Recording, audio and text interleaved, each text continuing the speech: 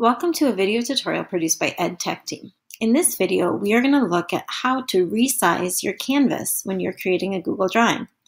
So you can see here, this is the example of the family tree that I created earlier. But you'll notice I have a lot of leftover canvas down here that I don't need, and my image is a bit off-centered. So there's two different ways you can resize your canvas. The first is by going to File and Page Setup. Here you can change it. It automatically starts with the standard page setup. You can change it to widescreen, okay, which may look a little bit better in this case. You can also customize it by doing the same thing, going to page setup and choosing your own dimensions.